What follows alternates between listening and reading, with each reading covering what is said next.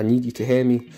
I need you to hear me clearly. Listen, okay, so Rian Johnson has signed a two film deal with uh, Warner Brothers. So, what's fascinating is at the moment, Rian Johnson has a deal with Netflix. Um, and after Knives Out came out, uh, he signed a deal with Netflix to do two more sequels for Netflix. So, uh, Glass Onion, Knives Out, the Knives Out story, Glass Onion, that came out. I thought that was better than the first Knives Out, and we've got one more to come. And if you remember, with that film, there was a limited cinema release.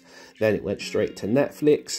Um, and with filmmakers, I because I'm a filmmaker as well, um, there's something about having a movie in a cinema um, so that people have a communal experience. People are sitting together, people are experiencing something together. There's something special about that. And when it goes on to streaming, it, yes, you're reaching more people, but that initial experience is not quite the same. And having your film uh, projected uh, on, from a projector onto a screen, and if you're an old school um, filmmaker such like Christopher Nolan, when you're shooting on IMAX, then you actually have it projected from an actual piece of film.